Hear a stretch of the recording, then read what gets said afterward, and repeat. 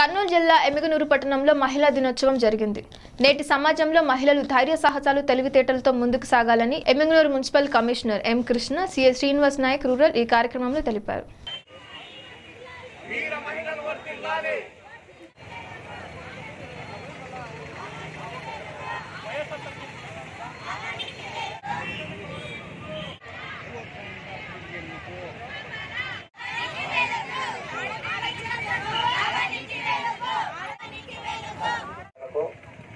విచ్చేసినటువంటి municipal commissioner సార్కి మరియు రూరల్ మహిళలే మహారాణులు. కాదంటారా కదా? కానీ ఎక్కడో చిన్న లోపం జరుగుతూ ఉంది. కానీ ఆ లోపాన్ని కనిపెట్టుకొని దానికి సంబంధించిన పరిష్కారము కనుగొనగలిగితే ఇందాకన్నట్లు మహిళలే మహారాణులు.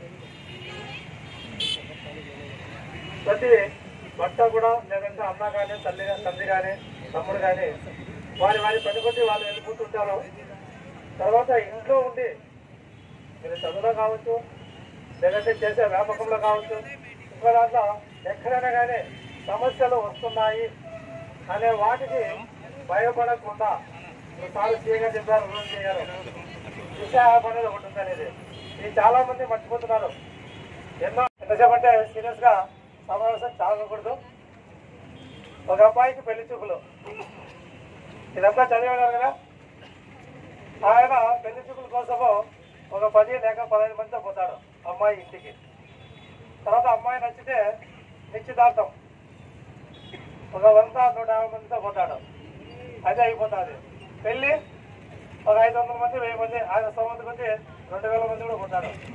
కానీ ఈ తంతు ముగిసిన తర్వాత అమ్మాయి అత్తారింటికి ఎంత వస్తుంది సింగిల్గా?